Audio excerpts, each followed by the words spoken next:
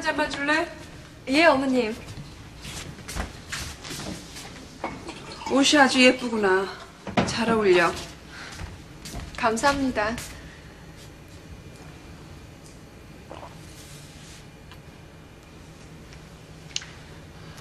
네가 시켰니? 예, 뭘 말씀이세요? 나한테 어머니라고 부르라고 네가 시켰어? 네. 앞으로는 그런 쓸데없는 짓 하지 마라. 난 진국이한테 어머니 소리 듣기 위해서 사는 사람이 아니야. 그럼 그일 미워하시려고 사시는 거예요?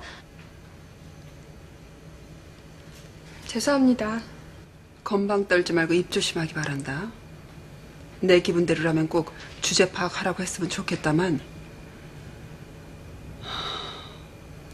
지금 네 위치를 항상 명심하도록 해. 예, 어머님.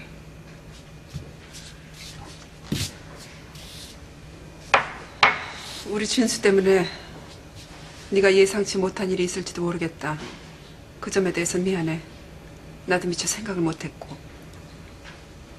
아닙니다, 어머님. 전 마음속으로 항상 어머니께 감사하고 있어요. 그래? 경매 해지시킨 사람이 진국이라는 걸 알 텐데. 그 일 만나게 된 것도 경매 해지된 것도 어머님이 아니었으면 불가능한 일이었다고 생각합니다. 그렇게 생각하니까 다행이구나. 아무튼 우리 진수 네가 몹시 좋은 모양인데 귀찮겠지만 잘 부탁한다. 아니요, 어머님. 걱정하지 마세요.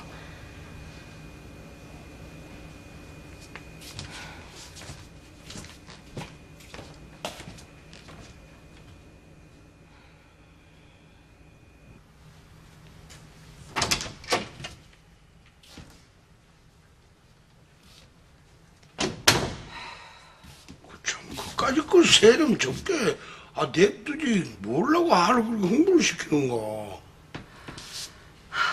단순히 세 접어주는 문제가 아닌 것 같아요. 그럼, 아, 이 옷 널려져 있는 것 좀 보세요. 옷장에서 다 꺼내놨잖아요.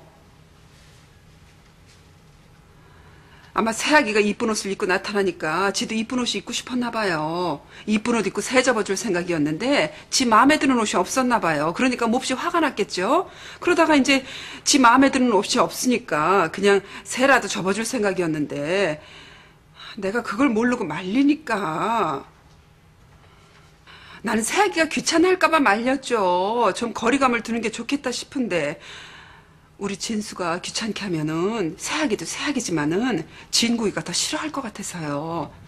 아니 밤에 또 진국이 방에 가면 어떡해요? 어? 갓 결혼한 신혼방에 아무리 사연이 있기로서니 어? 시동생이 자꾸 드나들면은 아, 그게 뭐예요? 신뢰가 되잖아요. 맞네. 자네 말이 맞아. 이. 아, 나부텀도, 어, 시동생 아니라 누구래도, 그 꼴은 못 보지. 그래서 말린 건데 그렇게 흥분할 줄은 정말 몰랐어요. 아유 정말 아니 도대체 이 일을 어쩌면 좋아요? 다 글매 말이지, 어쩌면 이, 이거를. 그래서 제가 조금 전에 새아기 만나가지고 다 얘기를 했어요. 미안하다고 얘기하고 잘 부탁하고 그랬어요. 근데 진국이한테는 말을 못했어요. 뭐 내 얘기를 잘 들어줄 것 같지도 않고요. 걱정하지 마소. 나가 알아, 섬세. 응. 고마워요, 여보. 여보, 그러면은 저는 집안일 할 사람 알아볼 테니까 당신은 우리 진수가 새아기랑 좀 잘 지낼 수 있도록 진국이가 이상하게 생각하지 않게 얘기를 좀 잘 해주세요. 네? 알았네. 알았네. 알았다고.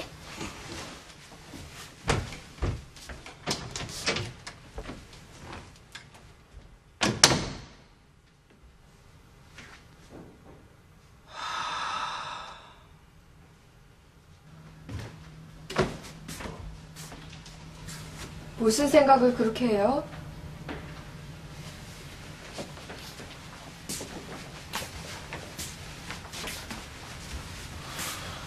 진수가 새를 접으려고 했던 종이가 뭐였지?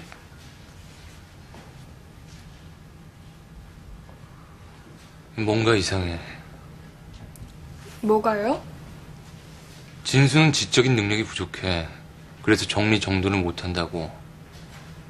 그래서 뭘 접으면 뭐 물론 엉터리로 접지만 방안이 온통 쓰레기장으로 변한다고. 근데 옷까지만 널려 있었고 종이 쓰레기는 없었어. 진수가 새를 접으려고 했던 종이가 뭘까?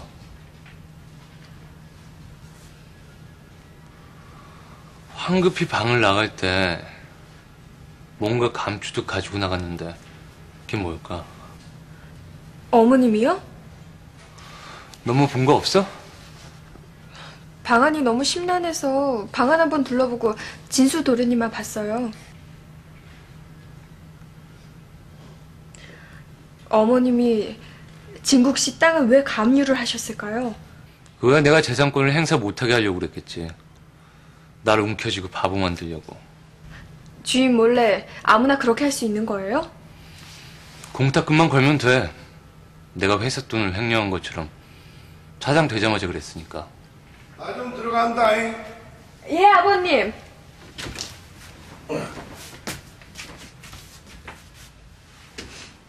그참 낯살이나 먹은 놈이 오르락 내리라고.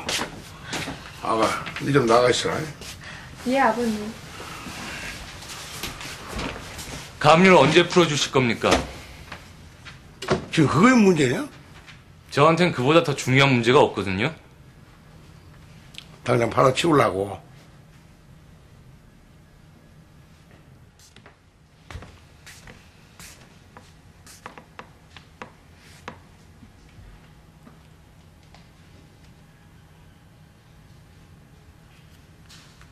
왜? 뭐 할 말 있니? 혹시 그 이 땅 가압류하신 거 저 때문인가요? 지집 경매 해지시킨 거 개인 돈이 아니고 회사 공금이었나요? 네가 신경 쓸 일 아니야. 일하는 아줌마 내일부터 올 거니까 저녁 식사 준비나 해라.